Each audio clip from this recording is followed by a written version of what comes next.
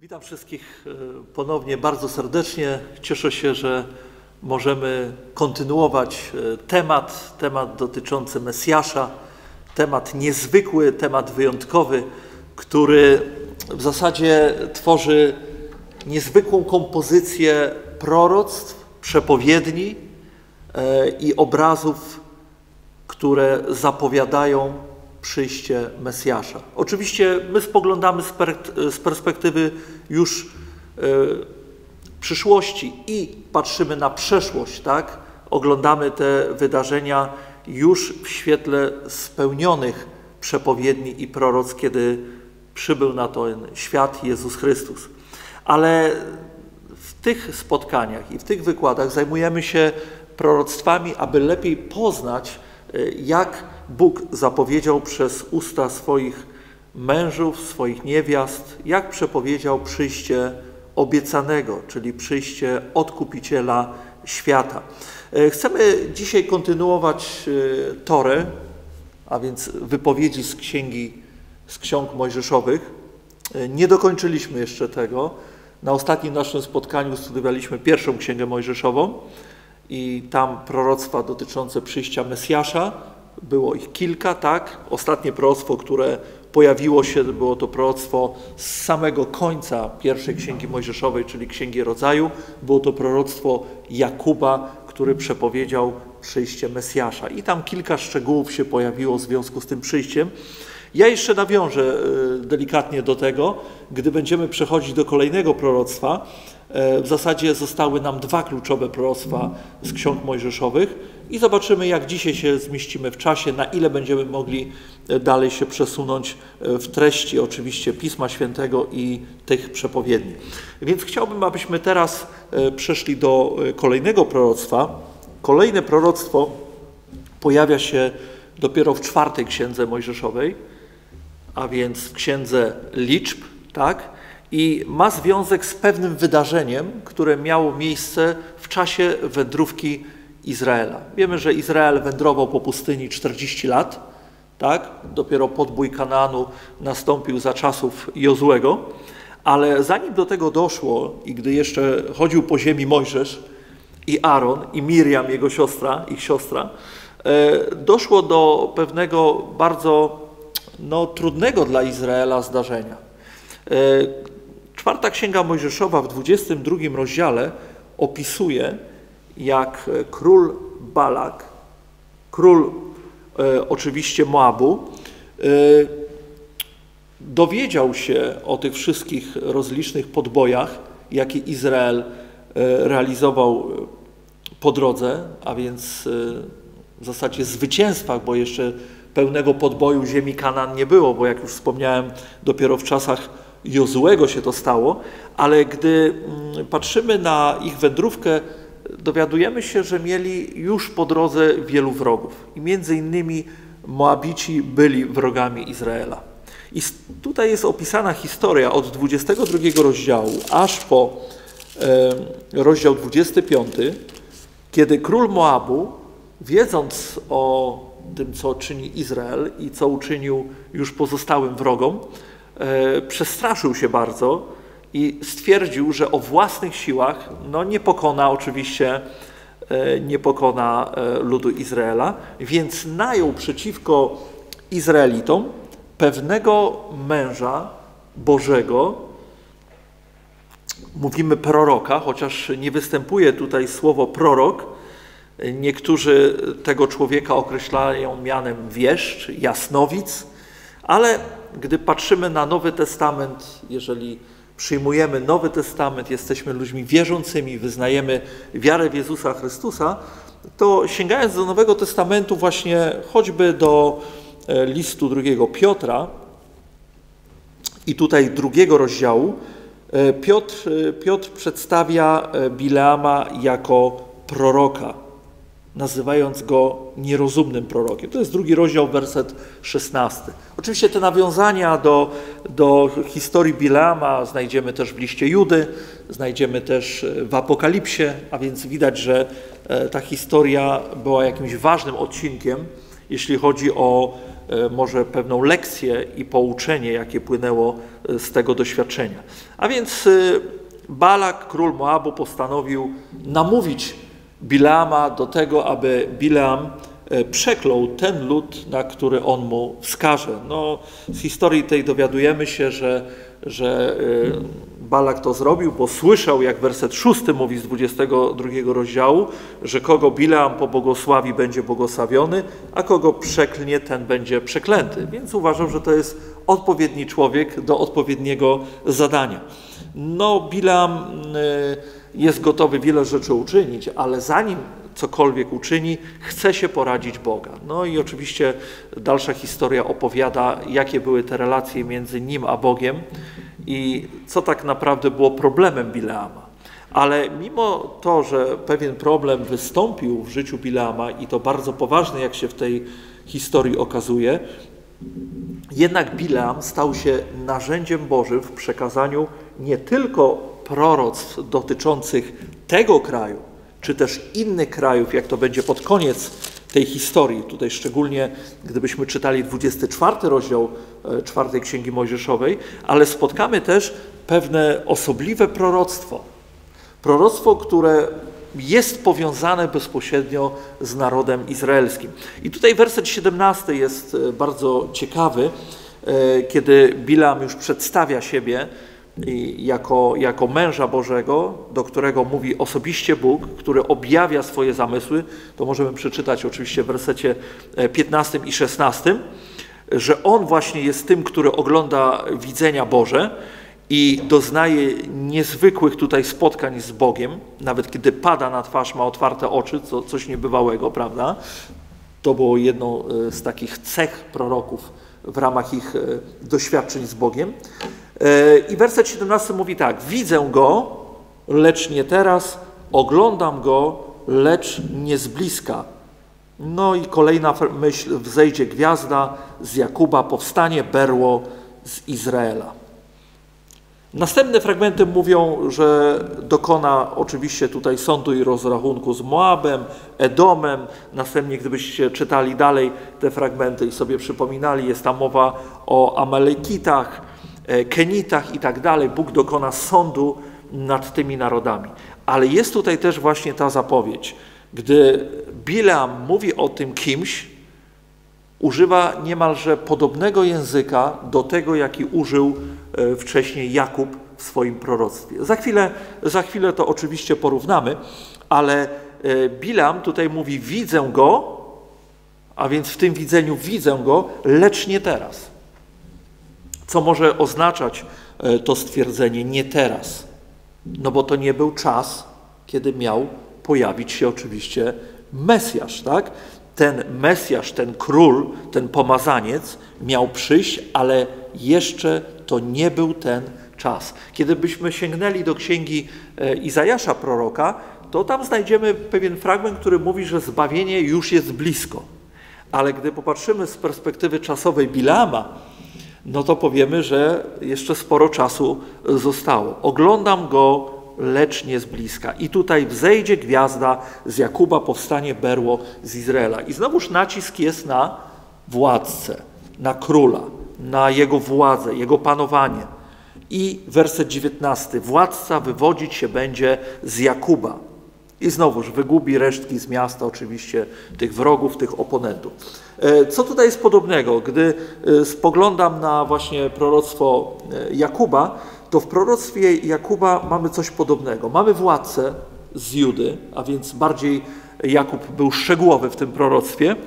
Jest, jest berło, nie ma tam buławy, tak, w tym przypadku, ale w tym jest.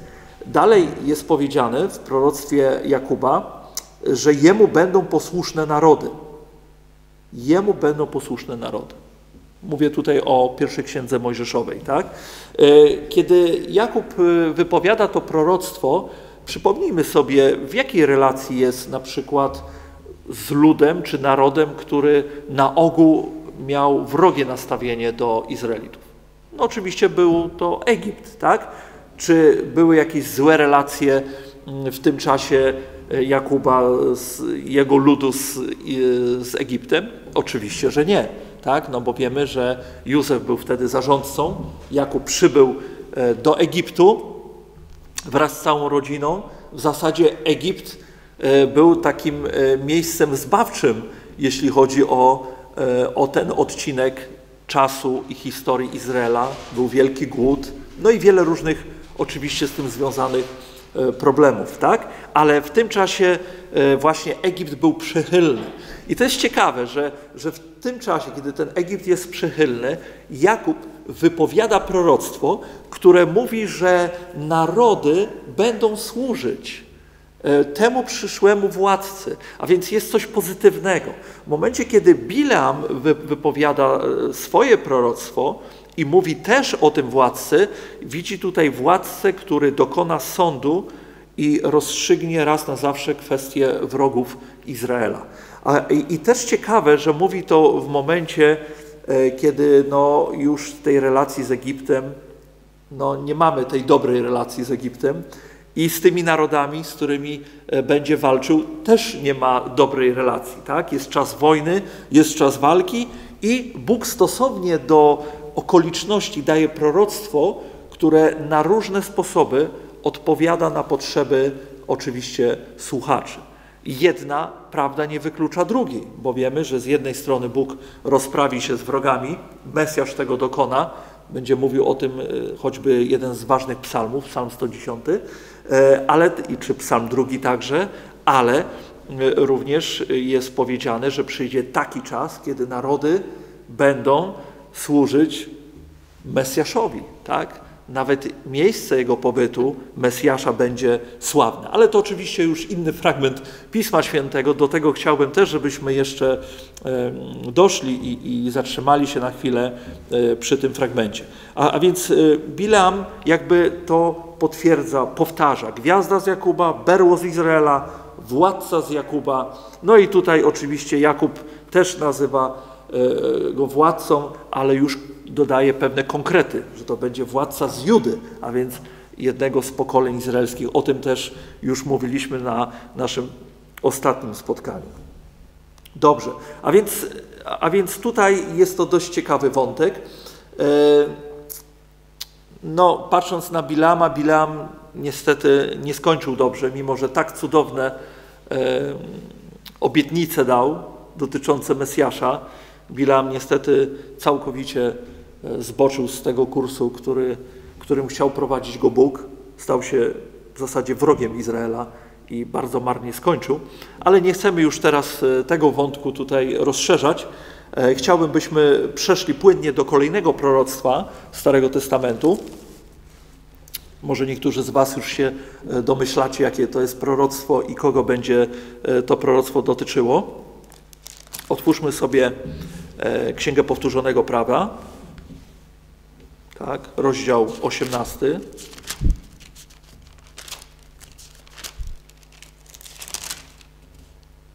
Tak.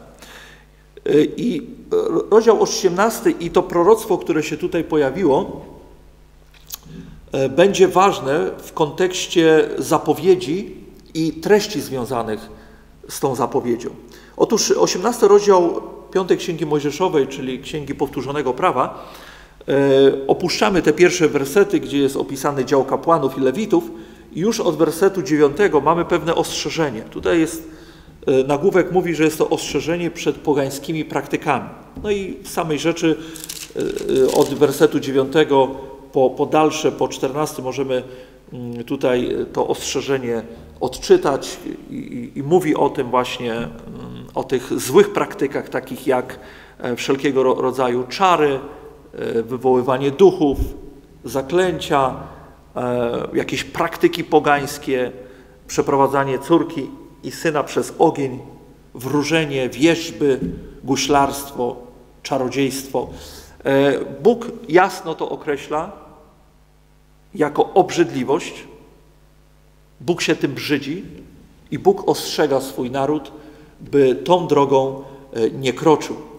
Dlatego, że te narody czyniły te rzeczy, praktykowały to wszystko, dlatego Bóg, przepraszam, wypędził te narody sprzed swojego oblicza i na to miejsce, na to miejsce chce sprowadzić swój lud. aby lud jego nie praktykował tych rzeczy. Co więcej, Bóg wzywa, byś był bez skazy przed Panem Bogiem Twoim, gdyż te narody, czytam werset 14, które Ty wypędzasz, słuchają wierzbiarzy, wróżbitów, a na to Pan Tobie nie pozwoli. E, z Pisma Świętego, z jego treści, z wielu fragmentów wiemy, że kontakty e, właśnie z tym światem nadnaturalnym, tak przedstawionym, tak opisanym, były to kontakty z Królestwem Ciemności, a więc ze złymi aniołami. Bóg nie chciał, aby lud jego miał dział ze złymi aniołami.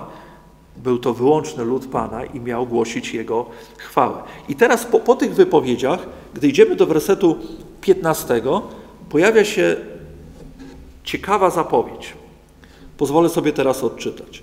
Proroka takiego jak ja jestem, a więc mówi Mojżesz w pierwszej osobie, wzbudzi ci Pan, Bóg Twój.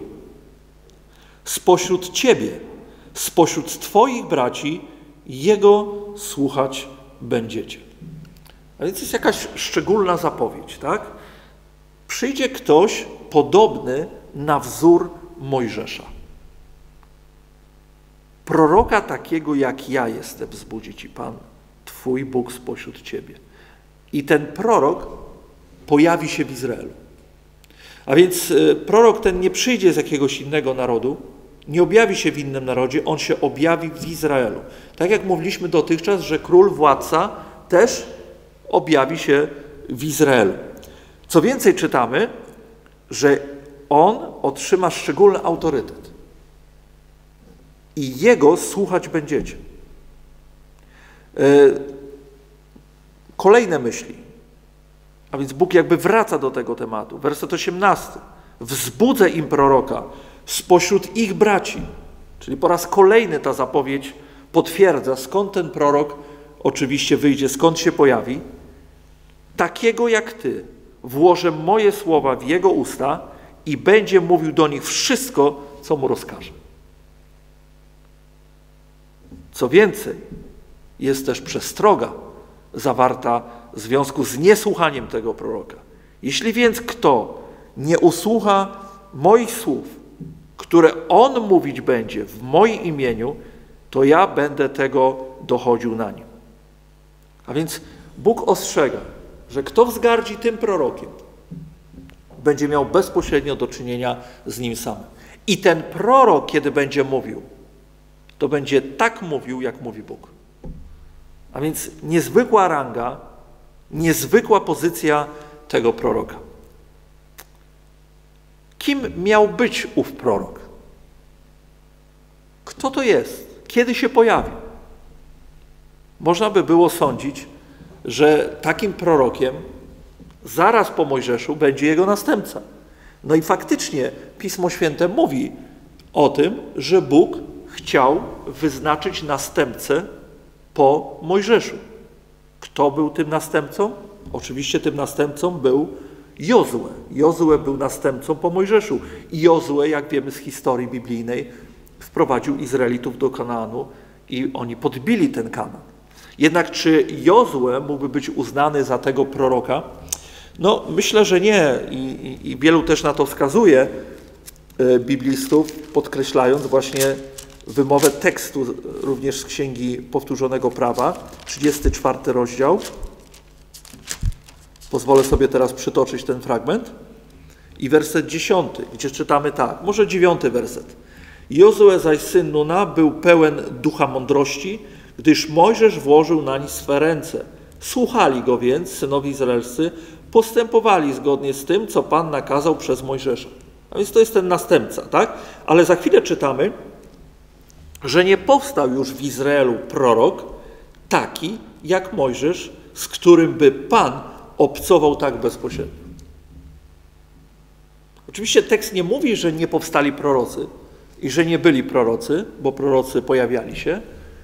E, czasami bezimienni mówimy, bo nagle na przykład w Księdze Sędziów pojawia się pewien prorok, który ostrzega, napomina lud i znika. I nie wiemy, kto to jest, gdzie on, w którym odcinku czasu dokładnie żył, skąd pochodził. Po prostu pojawił się, Bóg go wysłał z pewnym poleceniem, z pewnym słowem I na tym się historia kończy. Ale tu jest powiedziane, z którym by Pan tak obcował bezpośrednio. Gdy patrzymy na historię Izraela, trudno nam dostrzec e, proroka, który by w tak niezwykły, bezpośredni sposób obcował z Bogiem. Gdy popatrzymy na Stary Testament, nie musimy się wcale za, zamykać tutaj w historii Jozłego, możemy wyjść całkowicie poza ten obręb. E, w księgach e, mojżeszowych jest też powiedziane właśnie, że, e, że co, coś więcej, po prostu 12 mm, rozdział czwartej Księgi Mojżeszowej, gdy Bóg napomniał Miriam i Arona, że występowali przeciwko Mojżeszowi, werset 9 mówi tak, w szósty, przepraszam, 12 rozdziału, i rzekł Pan, słuchajcie moich słów, jeżeli jest u was prorok Pana, to objawiam mu się w widzeniu i przemawiam do niego we śnie. I patrząc na dar proroctwa i na ludzi, którzy ten dar otrzymali, faktycznie za każdym razem Bóg e, albo tak na jawie do nich przemawiał, albo przez sny, wizje, słyszeli Jego głos, On dawał im konkretne wskazówki i zadania. Lecz nie tak jest ze sługą moim Mojżeszem. W całym moim domu jest on wierny to jest ciekawe, prawda? To jest podkreślenie. Jest on wierny. E, ta myśl się pojawi potem w liście do Hebrajczyków.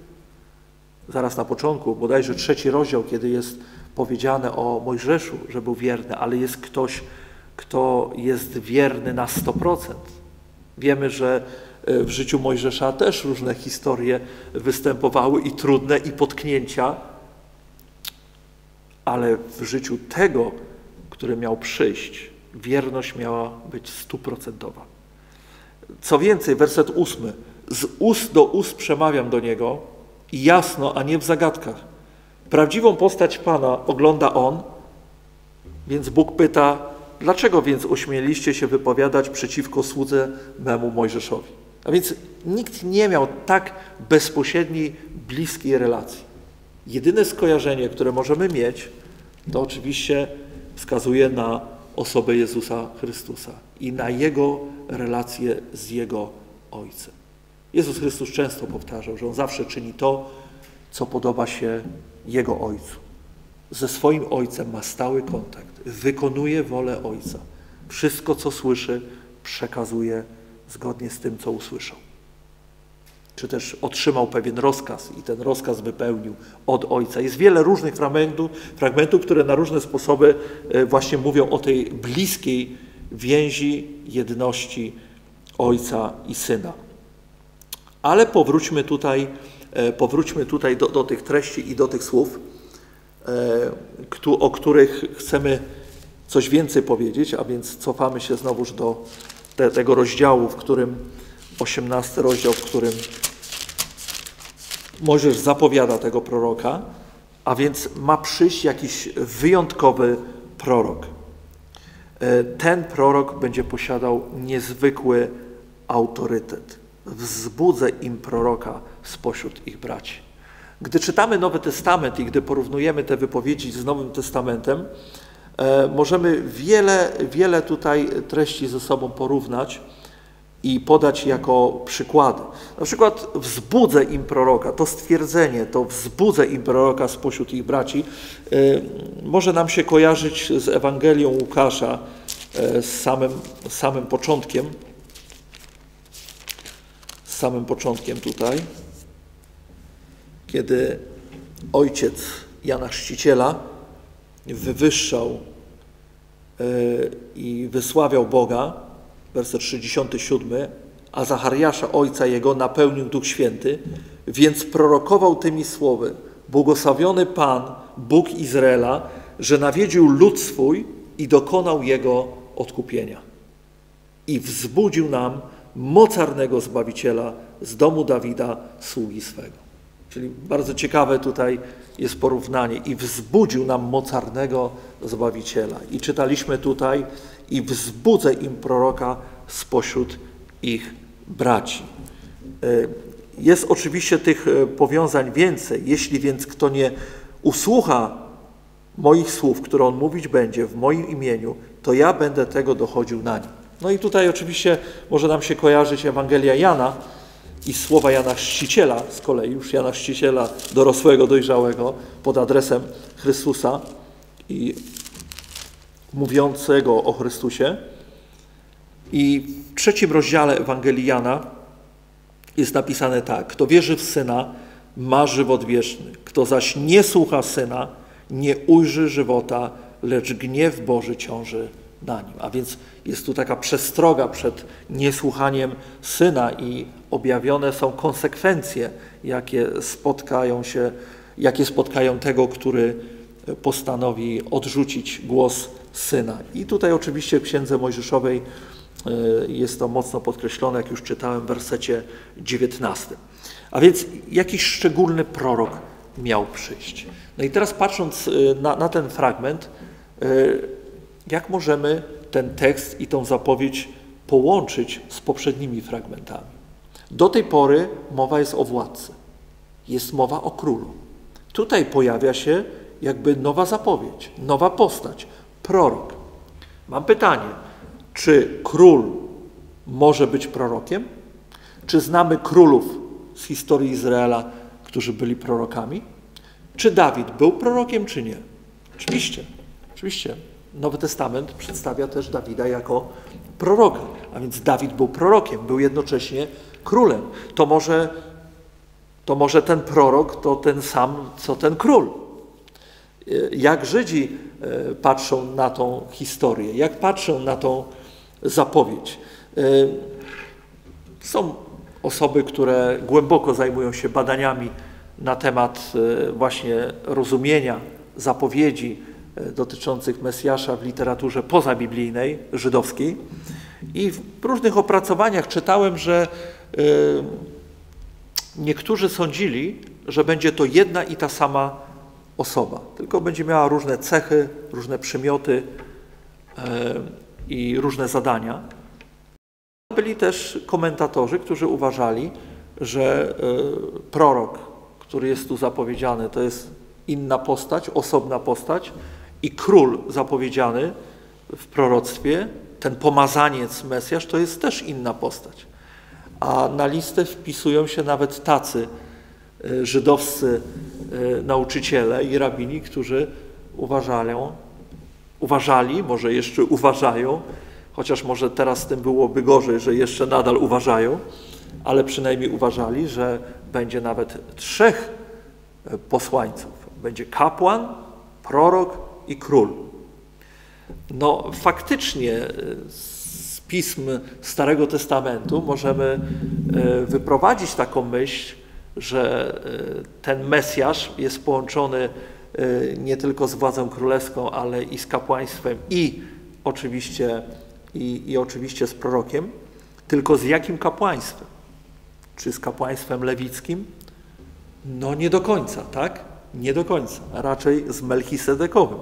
Jednak jest tu ciekawe połączenie, bo w pismach e, Nowego Testamentu widzimy, jak autorzy połączyli kapłaństwo e, Aaronowe z, właśnie z Melchisedekowym.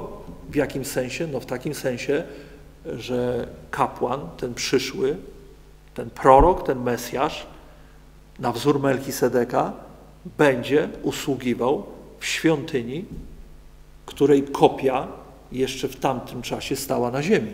A więc to jest bardzo ciekawe, tak? Te, te elementy gdzieś z sobą się e, prorocze łączą i e, wiążą. E, w czasie, kiedy Pan Jezus chodził po ziemi, jak była rozumiana ta sprawa? Czy Żydzi oddzielali kapłana od proroka i, i od króla, a szczególnie czy oddzielali proroka od e, tego proroka, o którym tutaj Mojżesz wspomina, od króla, który miał przyjść z rodu Dawidowego, czy oni widzieli jakiś rozdźwięk, czy, czy e, łączyli e, te postacie, mówiąc, że to przyjdzie jedna postać. Gdy patrzymy na Nowy Testament, możemy czytając Ewangelię wywnioskować, że stale oczekiwali króla, tak? króla Dawidowego. Zresztą mm, czytając y, Ewangelię widzimy bez trudu, że ludzie, patrząc na pewne znaki i cuda, które działy się za pośrednictwem Jezusa Chrystusa, uznali, że Jezus jest synem Dawidowym. A więc jest tym zapowiedzianym po linii Mesjaszem, który miał przyjść, królem, który miał się e, narodzić. E, to była jedna grupa ludzi. Inna grupa ludzi z kolei widziała w nim e, proroka, którego oczywiście zapowiedział Mojżesz. I szczególnie jest to widoczne w Ewangelii Jana. Moglibyśmy tu już od samego początku jakby ten temat poruszać, kiedy przychodzą posłańcy od faryzeuszy, kapłanów i, i, i pytają Jana Chrzciciela z kolei, czy on jest tym prorokiem, który miał przyjść. No, odpowiada nie. No, nie jest tym prorokiem, który miał przyjść. Możemy to przeczytać zaraz w pierwszym rozdziale. Ja nie chciałbym się teraz mocno na tym zatrzymywać, to znaczy przy Janie Chrzcicielu, tam werset 20, 21 i kolejne fragmenty. E, tym prorokiem nie. No bo pytanie, czy Jan nie był prorokiem? Chrystus Pan powiedział wyraźnie, że był prorokiem, ale nie tym, o którym mówił Mojżesz. Nawet więcej niż prorokiem, bo e, wskazuje tutaj na proroctwo z księgi Izajasza, że miał być tym kimś, kto przygotuje bezpośrednio drogę Chrystusowi, Mesjaszowi, czyli temu pomazańcowi, który miał nadejść. Tak? E, to jest jeden z fragmentów, ale pójdźmy troszeczkę dalej. Pójdźmy troszeczkę dalej. I tutaj e, szczególnie szósty rozdział, szósty rozdział Ewangeliana opisuje nakarmienie tysięcy ludzi, tak, chlebem i rybami. Nakarmienie pięć tysięcy, było ich oczywiście więcej, no bo mówimy tu o mężczyznach, jeszcze kobiety, dzieci. E, I gdy to się stało, a wiemy z zapisu Ewangelii, że stało się to przynajmniej dwa razy, e, to kiedy się to stało, wtedy ludzie, ujrzawszy cud, werset 14, jaki uczynił, rzekli, ten naprawdę jest prorokiem, który miał przyjść na świat. No właśnie, ciekawe. E, ten jest prorokiem. Nie prorok jako kolejny, bo było grono ludzi, które, które uważało, że Jezus jest prorokiem. Niekoniecznie tym, który miał przyjść, po prostu jest prorokiem. Uważali go za proroka. Jana Chrzciciela też uważali za proroka. Więc e, na podobieństwo Jana Chrzciciela też uważali Chrystusa za proroka, który kontynuuje to nauczanie, tą, tą służbę, tą działalność Bożą zleconą przez Boga, ale tutaj, gdy ten cud miał miejsce, natychmiast powiedzieli, to jest prorok, który miał przyjść. Dlaczego tak powiedzieli? Prawdopodobnie dlatego, że mieli skojarzenie e, z tym, co uczynił Mojżesz na pustyni. W zasadzie wiemy, kto to uczynił? Tak? Mojżesz był narzędziem, kiedy byli głodni. Pokarm się pojawił w sposób nadnaturalny. Nie tylko przepiórki, ale także chleb z nieba, tak? czyli manna, o której, o której wiemy zapisu biblijnego. I teraz Chrystus w nadnaturalny sposób karmi tłumy. No jakie może być skojarzenie? No to jest ktoś na wzór Mojżesza. To jest ten drugi Mojżesz, który jeszcze do tej pory się nie pojawił ale teraz już jest. Teraz to on dokonuje tych rzeczy, więc jest na podobieństwo Mojżesza. To jest na pewno ten człowiek. E, no właśnie. Czy w takim razie mieli już ustalone? Aha, no to do tej pory twierdziliśmy, że jest synem Dawida, teraz jest jeszcze prorokiem, to mamy dwa w jednym. O, on wypełnia te, te wszystkie zapowiedzi prorocze. No chyba nie do końca, bo jeszcze jeden fragment pozwolę sobie teraz E, przywołać. To jest siódmy rozdział Ewangeliana.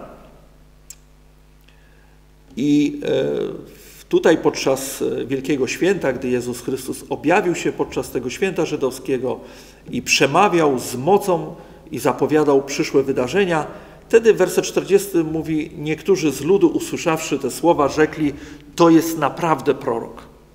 To jest naprawdę prorok.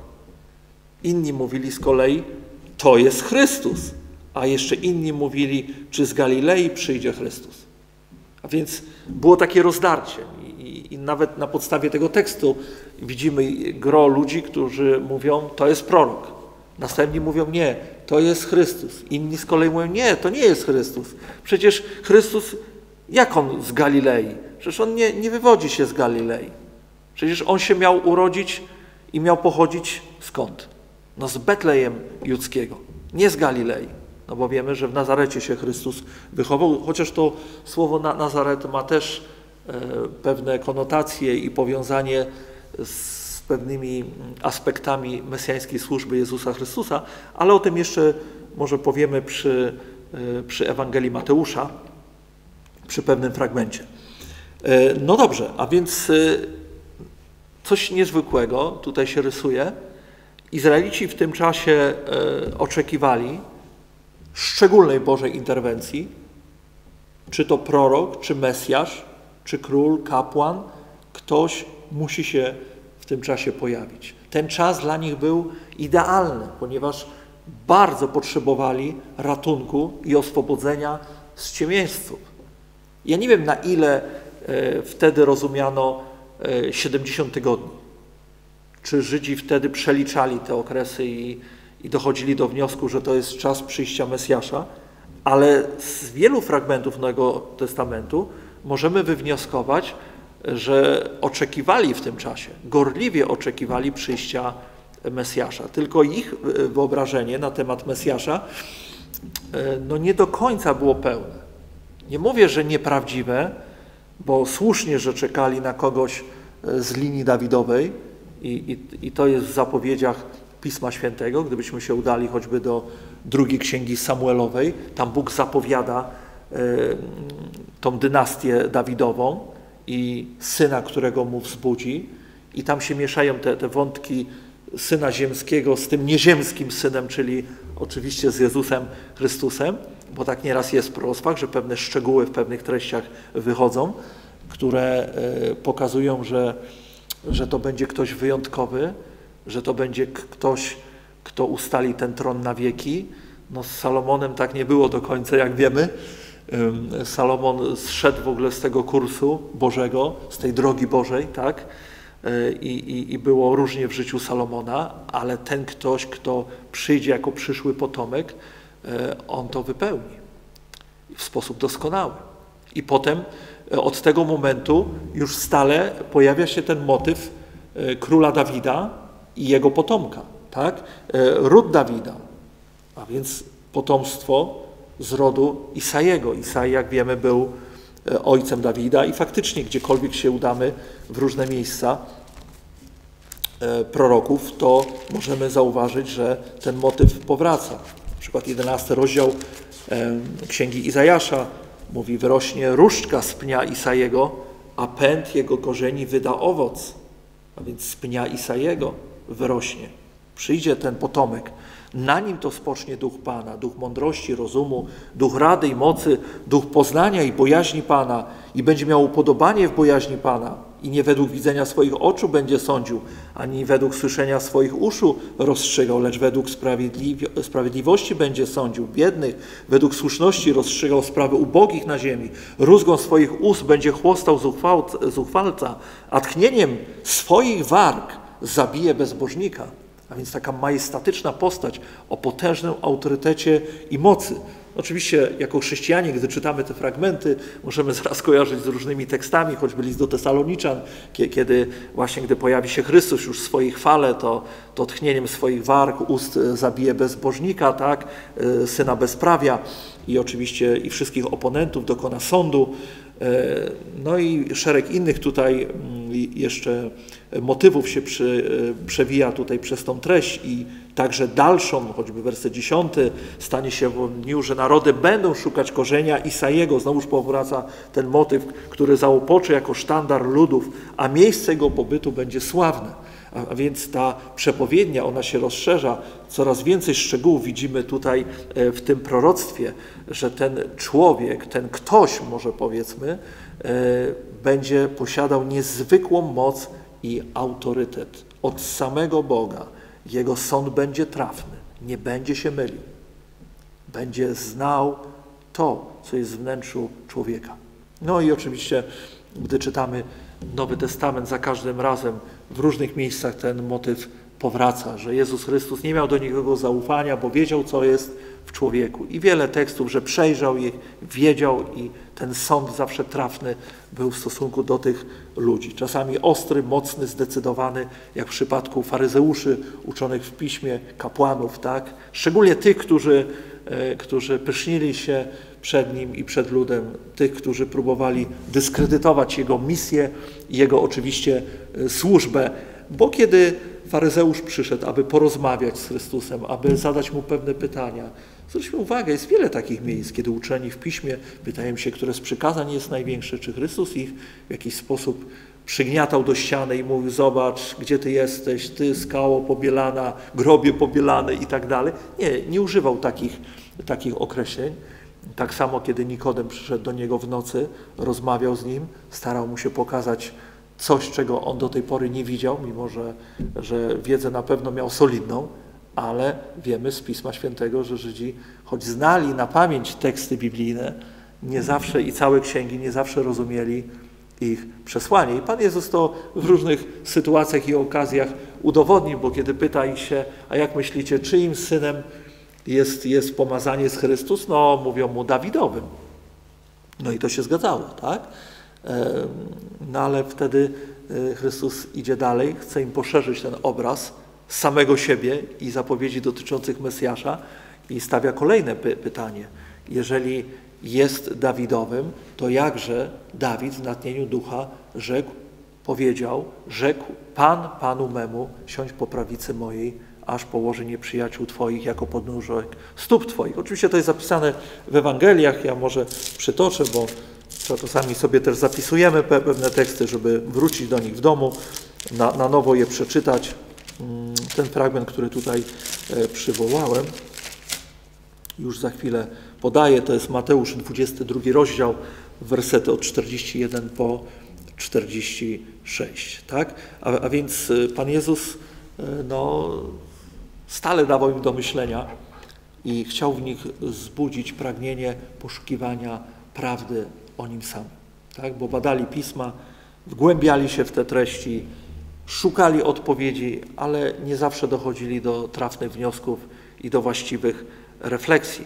Mm, dlaczego się tak działo? No z różnych powodów. Przede wszystkim z tych, że motywacje nie zawsze były do końca czyste, bo kiedy były czyste motywacje, kiedy było to pragnienie płynące z serca, to mamy takiego Symeona, który modlił się i prosił, by mogły jego ojczy, oczy przepraszam, ujrzeć Zbawiciela. Opisuje to zaraz początek Ewangelii Łukasza, jeżeli dobrze pamiętam, drugi rozdział. I to się stało w jego życiu. Dziękował Bogu, że nie tylko mógł y, zobaczyć, ale i błogosławić i mieć na rękach Zbawiciela świata. I, I z radością już mógł odejść z tej planety, bo widział, że Bóg zrealizował to, co przez wieki oczywiście e, obiecywał. I mm, pozostawiając ten fragment, pozostawiając ten fragment, wychodzimy tak naprawdę z ksiąg mojżeszowych. Jeszcze może chwilę tutaj, e, jeszcze chwilę tutaj spędzimy. Wychodzimy z ksiąg mojżeszowych i co dzieje się dalej? Co mamy po księgach mojżeszowych? Oczywiście mamy księgę Jozułego. I teraz moje pytanie, czy w księdze Jozułego mamy jakieś zapowiedzi E, dotyczące Mesjasza. Czy jest tam jakaś zapowiedź? No raczej nie ma. Ja pozostawiam e, temat postaci typologicznych, które wskazywały na przyszłe dzieło Mesjasza. O tym już wspominałem na chyba pierwszym wykładzie, że mamy kilka takich szczególnych, wyrazistych postaci, które identyfikują się z Mesjaszem, tak? przynajmniej ich życie, pewne szczegóły z ich życia. Tam był i Daniel, i Jeremiasz, i, i, i w jakimś stopniu Hiob i, i, i też e, inne postacie, Józef, prawda?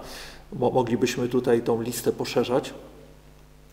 Ale patrząc na e, wypowiedzi czy zapowiedzi prorocze, takie jakie dotychczas studiowaliśmy, no to gdy przeglądamy Księgę Jozułego, to w zasadzie trudno nam dostrzec takie zapowiedzi. Czy w takim razie tutaj e, nie było Chrystusa? Wielu ja też się podpisuję pod tym, e, mówi o tym, że Chrystus objawił się, ale nie objawił proroc dotyczących swojej osoby. Objawił się choćby w piątym rozdziale, kiedy Izrael przygotowywał się do, do ekspedycji wojennej przeciwko Jerychowi. Miał podbić Jericho i wtedy tuż przed tym wydarzeniem, przed szóstym rozdziałem, końcówka piątego, e, pojawia się pewna tajemnicza postać. Początkowo e, Jozue nie wiedział, z kim ma do czynienia, ale coś było majestatycznego, coś było niezwykłego w tej postaci, więc postawił pytanie, czy należysz do nas, werset 13, czy do naszych nieprzyjaciół. A ten odpowiedział: Nie, ale jestem wodzem wojska Pana. Wódz wojska Pana, wódz wodza, e, przepraszam, wodzem wojska Jahwe. On jest wodzem. Przecież Jozue e, był tym wodzem, prawda? Z tej pozycji perspektywy ziemskiej. Co więcej mówi, przyszedłem teraz. Wtedy Jozue upadł twarzą na ziemię, oddał mu pokłon i rzekł do niego, co rozkaże mój Pan słudze swemu. Jakie były wytyczne? A wódz wojska Pana rzekł do Jozuego, zdejm z nóg sandały swoje, bo miejsce, na którym stoisz, jest święte i Jozue tak uczyni. Idziemy z zapisu biblijnego, że z Izraelem stale kontaktował się posłaniec Jahwe. Malak to jest posłaniec, tłumaczony też jako anioł. Anioł jest posłańcem. Posłańcem okazuje się z Biblii e, może być anioł, może być człowiek, tak? Jan Chrzciciel został nazwany e, takim posłańcem, takim aniołem, który miał przygotować drogę Panu, ale też i sam Pan może być takim posłańcem, tak? No, wiemy z zapisu biblijnego, że ojciec posłał syna, ale to w momencie, kiedy urodził się na świat. Ale równie dobrze ojciec mógł w taki sam sposób posyłać syna w jego preegzystencji. I oczywiście moglibyśmy osobne studium zrobić na ten temat. Wielu z nas zna te fragmenty, które pokazują, że ten posłaniec to nie był zwyczajny anioł, dlatego że e, jego majestat, e, cześć, jaka, jaka była e, mu oddawana i sposób, w jaki ludzie reagowali na spotkanie z tym posłańcem, jasno wskazywała, że mieli do czynienia z Bogiem, z Bogiem, który przybrał taką postać, aby mógł się z nimi e, spotkać, bo inaczej, gdyby przy swojej chwale, oczywiście nikt by mm, żywo nie wyszedł z takiego spotkania. Zresztą Mojżesz o tym już słyszał i, i, i Bóg to często, e, często też powtarzał. Tak? A więc pojawił się tutaj. Jednak mm, czas Księgi Jozłego to jest czas podboju. To jest czas wojen, walk o Kanan. Może w tym czasie trudno by było Izraelitom pochylać się nad proroctwem mesjańskim, rozmyślać o nim, analizować to. E, I Bóg mógł z tego powodu ominąć właśnie ten czas Księgi Jozułego. Ale ktoś powie, no dobrze, a co w takim razie z Księgą Sędziów? Czy w takim razie w księdze sędziów pojawi się zapowiedź Mesjasza? No też na darmo byłoby i próżno szukać takich przepowiedni. W księdze sędziów nie znajdziemy przepowiedni dotyczących Mesjasza.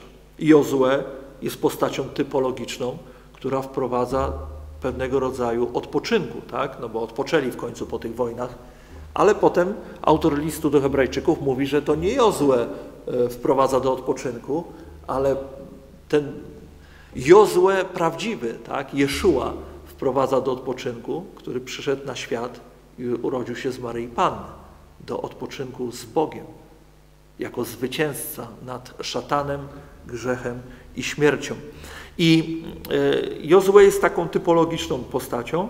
Również w Księdze Sędziów sędziowie to też są typologiczne postacie, i nieraz ten motyw się pojawia, że sędzia to nie jest taki sędzia, jak my dzisiaj rozumiemy sędziego w sądzie. Ten sędzia był kojarzony z kim?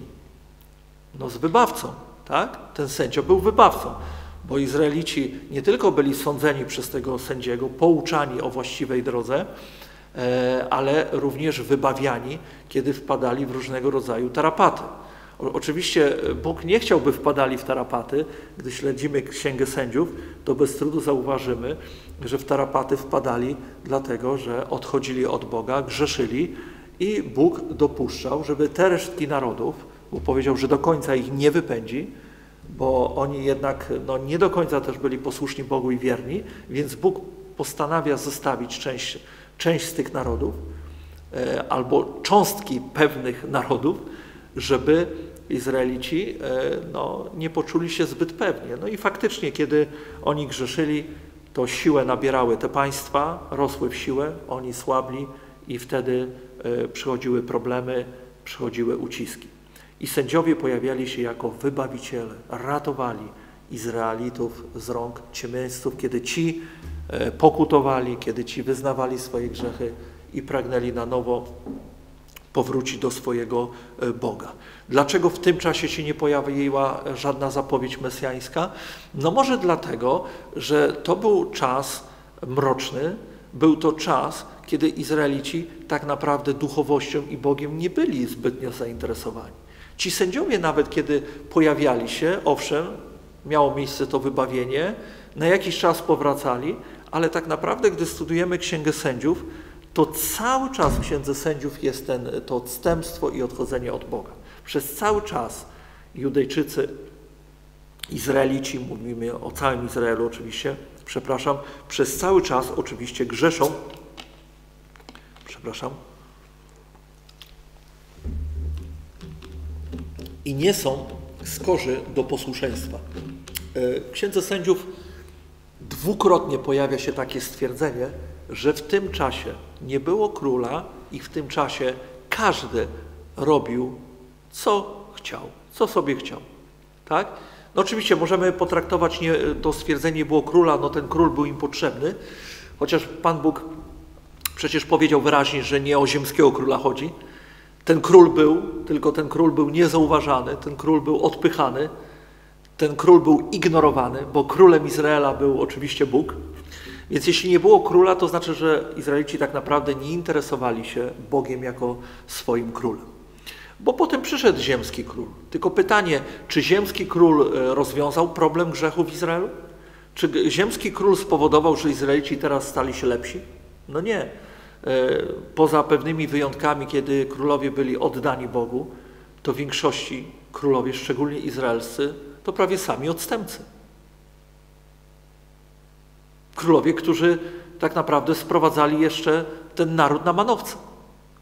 Bo ten naród niejednokrotnie e, reagował tak, jaki był król. Jeżeli król był pobożny, no to pozwolił się prowadzić w kierunku pobożnym. Ale jeżeli król przyszedł odstępczy, to trudno znaleźć zapis, że król był odstępczy, a lud był pobożny. Ja przynajmniej nie znalazłem czegoś takiego, ale znalazłem coś odwrotnego, że król był pobożny, na przykład król Jotam, król Uzjasza, syna, e, syn Uzjasza, przepraszam, ale lud był zepsuty w tym czasie. Więc tak najczęściej to e, wyglądało i bywało. Więc w Księdze Sędziów no, nie, nie odnajdziemy tutaj nie odnajdziemy tutaj e, tej zapowiedzi Mesjasza. E, Pan Bóg te drogocenne perły, te drogocenne obietnice przekazywał w odpowiednim czasie. I dopiero kiedy kończy się okres sędziów, i zaraz będziemy kończyć, jeszcze do jednej wypowiedzi tutaj Pisma Świętego się odniosę, mamy y, okres opisany jako końcowy w pierwszej księdze Samuela. Tak? Ostatnim sędzią który sprawował taką władzę sędziowską i też tą wybawicielską, no bo też za jego dni e, było wybawienie, to był Samuel. To był Samuel. Tak? I to jest bardzo ciekawe, bo Samuel jest ostatnim sędzią, jest też prorokiem, a więc dwa w jednym, sędzia i prorok, dwa w jednym. Nie zawsze sędziowie byli prorokami, tak? ale tutaj jest to mocno, e, jest to mocno podkreślone, że był prorokiem i wiele miejsc w Biblii o tym mówi. E, I, I teraz e, Samuel przychodzi na świat, w zasadzie jest wyproszony przez matkę o imieniu Anna. Anna nie mogła mieć dzieci i prosiła Pana i przychodziła do świątyni i błagała Boga o litość. I Pan Bóg wejrzał łaskawie na Annę i Heli, który był w tym czasie kapłanem, no, zapowiedział, że Bóg daje syna, a ona w tej radości w zamian, to wszystko oczywiście możemy przeczytać w pierwszym rozdziale pierwszej księgi Samuela, w tej radości, powiedziała, to ja w takim razie oddaję mego syna na służbę Panu. Tak? I Heli przyjął Samuela, gdy troszeczkę podrósł ten Samuel. Mama już nie musiała go karmić piersią i Samuel przebywał przez cały czas przy Heli i uczył się służby Bożej. Niestety synowie tego kapłana Heliego postępowali w sposób bardzo bezbożny. Ojciec też przymykał oczy na to, no może nie do końca reagował, tak? Niby ich napomniał, jest tam tekst, niedobrze synowie, że tak postępujecie, ale nie było zdecydowanej reakcji, a oni bardzo profanowali służbę kapłańską i gardzili tym ludem. I Anna, która otrzymała tą obietnicę, w sercu i w duchu, gdy to się już zrealizowało, tak się cieszyła i radowała i wysławiała Pana, że w trakcie, kiedy te słowa jej były oczywiście wypowiadane pod adresem Boga, oddające mu chwałę, jest to zapisane w drugim rozdziale pierwszej księgi Samuelowej, w pewnym momencie, w zasadzie pod koniec tego chwalenia Boga, wypowiedziała pewne proroctwa. Nie będę już tutaj na końcu ich wszystkich tych fragmentów czytał, ale chciałbym, abyśmy jeszcze ostatnie minuty skupili uwagę na końcówce tej modlitwy pochwalnej i werset dziewiąty mówi o tym, że nogi swoich nabożnych ochrania, oczywiście Bóg, lecz bezbożni giną w mroku, gdyż nie przez własną siłę mąż staje się mocny. To jest bardzo ważny fragment też ewangelicznie, tak? gdzie Chrystus powiedział, że beze mnie nic uczynić nie możecie, więc, więc ten motyw już w Starym Testamencie jest tutaj uwypuklony, ale werset dziewiąty, dziesiąty jest kluczowy dla nas. Walczący z Panem będą zdruzgotani, a więc znowuż zapowiedź triumfu Boga, Jahwe nad przeciwnikami. Najwyższy w niebie pobije ich, a więc Bóg się z nimi rozprawi. Pan sądzić będzie krańce ziemi. Jest tu zapowiedź, że Bóg nie tylko będzie sądził Izraela i te narody ościenne, ale będzie sądził cały świat i da moc królowi swemu i wywyższy róg pomazańca swego. W tym czasie nie było jeszcze króla, a już Anna zapowiada, że Bóg da moc królowi swemu i wywyższy róg pomazańca swego. A więc tutaj jest w tych ostatnich wersetach przygotowanie Izraela na króla, lecz nie takiego króla, jakiego oni sobie wymarzyli. Bo pierwszy król Izraela, jak wiemy, to był król według serca tego ludu. I Bóg dał im takiego króla, ktoś powiedział, na jakiego w zasadzie zasługiwali. Wiemy, że historia Saula no, nie była tą historią, którą chciałoby się zapamiętać. Chyba, że, że jakieś ostrzeżenia i napomnienia z tej historii, które można wziąć do swojego życia. Ale potem pojawił się król według serca Bożego. Król, którego namaścił Samuel, ten, który został właśnie wymodlony. Tak, tak jak potem wieki później e, pojawi się syn, też u rodziców, którzy nie mogli mieć dzieci. Jan Chrzciciel. Jan Chrzciciel jakby przygotował drogę dla Mesjasza, a tutaj Samuel jakby przygotowuje drogę dla Dawida. Jest tym narzędziem. Jest tutaj pewne e, porównanie i może, może też ciekawy związek. I od tej pory e, linia Dawidowa będzie stale utrwalana. Gdziekolwiek się nie udamy w ważnych miejscach proroczych, tam znajdziecie zapis, że właśnie Bóg przygotuje potomka Dawida, nawet nazywając go też Dawidem. Bo gdybyśmy otworzyli 34 rozdział Księgi Ezechiela, ten przyszły Dawid właśnie to jest ten Mesjasz, który miał nadejść.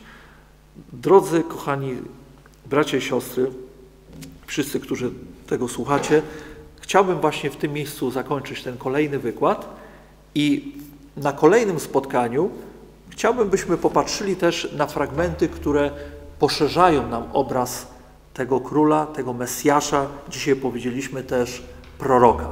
I znajdziemy wiele ważnych informacji i może także tych, które pozwolą nam jakby głębiej popatrzeć na to, jaki problem mieli Izraelici i dlaczego w czasach Pana Jezusa trudno im było przyjąć Mesjasza, cierpiącego sługę, choć o takim właśnie będą mówiły teksty Starego Testamentu. Bardzo dziękuję Wam za uwagę. Niech Bogu będzie chwała za Jego słowo i za ten czas, który mogliśmy wspólnie spędzić. Dziękuję wszystkim za uwagę i zapraszam Was na kolejne spotkanie. Do zobaczenia.